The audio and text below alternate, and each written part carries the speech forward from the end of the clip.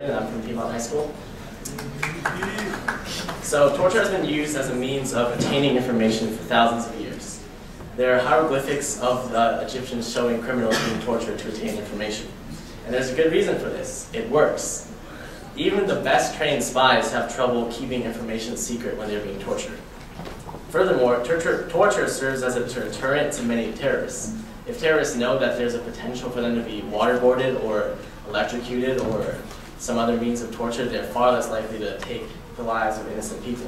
And I think that's a good point that um, Delon has not yet brought up, that it's a deterrent from future terrorists. So even if you question its uh, efficiency in attaining information from terrorists who have already committed crimes, uh, you can't deny the fact that it's a deterrent for future terrorists. No one wants to be tortured.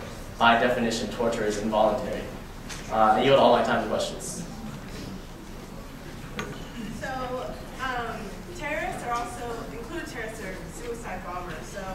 Do you think that really is that? Um, right, obviously you can't torture a suicide bomber. I'm saying is like, if you capture one that is coming, do you really think it's a deterrent for like you know terrorists who are willing to fly into planes? Well, okay, suicide bombers are a very small number of terrorists. Or I guess it's not. There's a lot of them, but like there's other types of terrorists. And yeah, sure, you can't torture them to prevent it because they're already going to kill themselves anyway.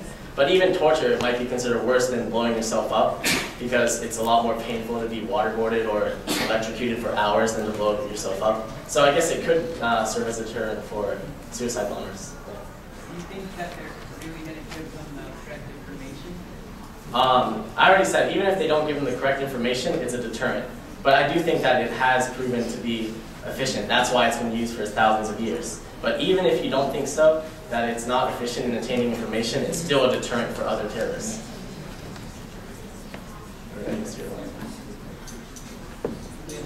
You said that um, torture has been used 2,000 years because it's efficient, but a lot of countries got rule torture because they said that um, um, non-factual information because it says criminals that you will say anything you want, think you want, and they say, get out of the Well, I already mentioned that the the efficiency has already been questioned. Like even if you question it, it still serves to prevent future attacks. But information has been achieved um, or obtained through torture.